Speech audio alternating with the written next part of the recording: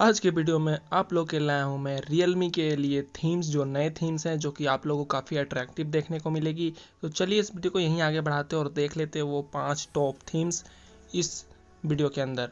तो सबसे पहला जो आपको थीम देखने को मिलेगा, वो आपको देखने को मिलेगा लव फॉर नेचर यूआई और इन सभी का लिंक मैंने डिस्क्रिप्शन दे दिया है, एक टेक्स्ट डॉक्यूमेंट का फ़ाइल है। आप वहाँ से लिंक को डायरेक्टली खोल के आप डायरेक्टली थीम स्टोर के अंदर जाकर डाउनलोड कर सकते हैं। तो ये रहे उसके कुछ प्रीव्यू शॉर्ट्स जो कि कुछ इस तरह आपको देखने को मिलेगी जनरली ये आइकन्स काफ़ी अट्रैक्टिव है।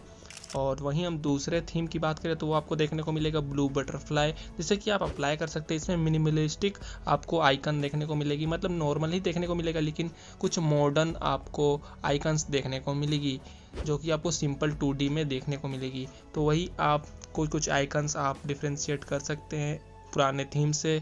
तो इसमें बस आइकन्स का ही फ़र्क आएगा, और ज़्यादा कुछ होगा नहीं। तो चलिए, अगर इसका हम अगले थीम की बात करें तो वो आपको देखने को मिलेगा रैपिड पावर तो ये भी काफ़ी इंटरेस्टिंग थीम है, इसमें आइकन्स उतने अच्छे नहीं है, लेकिन वॉलपेपर्स काफ़ी अच्छे हैं। साथ साथ इसमें कुछ कुछ आइकन्स काफ़ी अच्छे दिखते हैं मतलब परफेक्ट राउंड और काफ़ी ग्लोसी टाइप आपको अपियरेंस देगा, ये आइकन्स आपको फील देगा, जिससे कि आपको यूज़ करने में आपका यूज़र एक्सपीरियंस थोड़ा अच्छा लगेगा। तो आप चाहे तो इसे डाउनलोड कर सकते हैं, लिंक डिस्क्रिप्शन में दिया हुआ है यह रहे हमारे कुछ आइकन्स तो और वहीं हम स्लाइड करेंगे ऊपर से नीचे तो उसमें भी सारे आइकन्स आपको राउंड शेप में देखने को मिलेगी।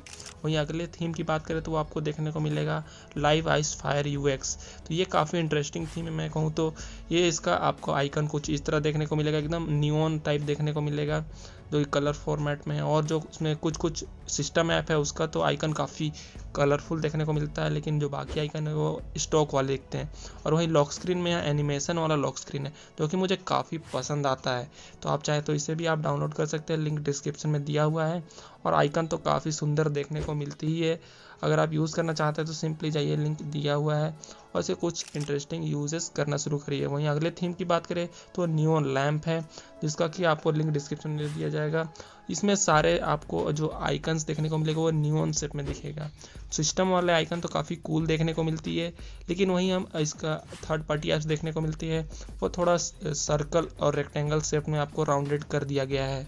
तो चलिए यही वीडियो था जिसके अंदर मुझे बताना था सारे थीम्स के बारे में। तो मुझे उम्मीद है आप लोग के लिए वीडियो हेल्पफुल रही। तो इस वीडियो को लाइक और शेयर ज़रूर करें। तब तक मैं आपसे अगले वीडियो में मिलूँगा। Till then be helpful and help others good bye